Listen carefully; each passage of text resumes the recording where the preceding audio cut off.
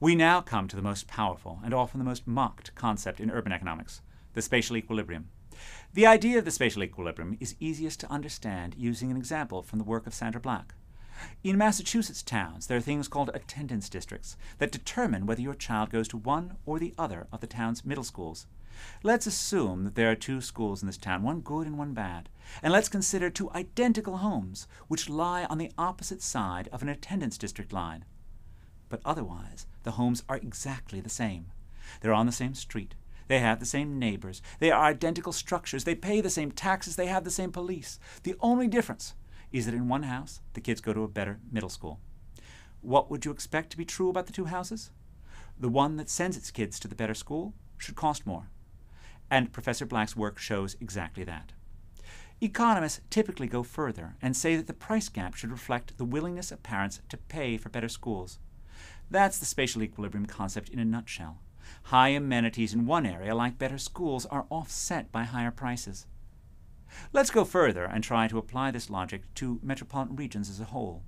Imagine a world in which everyone is identical and we're all free to move across space. Different areas will have different wages, different housing prices, and different amenities. The spatial equilibrium concept then predicts that the bundle of wages and prices and amenities should make us more or less indifferent between different locations.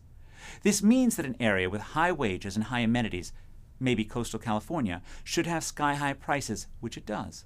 Places with low amenities and low wages should have low prices. If prices are high, controlling for wages, then we can be pretty sure we're looking at a high amenity location. If wages are high, controlling for prices, then we are probably looking at a low amenity location. This logic has some pretty powerful consequences. In 1970, big cities paid high wages controlling for prices, or higher real wages, which just means wages controlling for prices.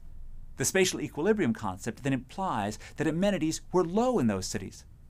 By 2000, real wages were actually lower in big cities, especially New York, and the spatial equilibrium concept suggests that amenities had gotten a lot better.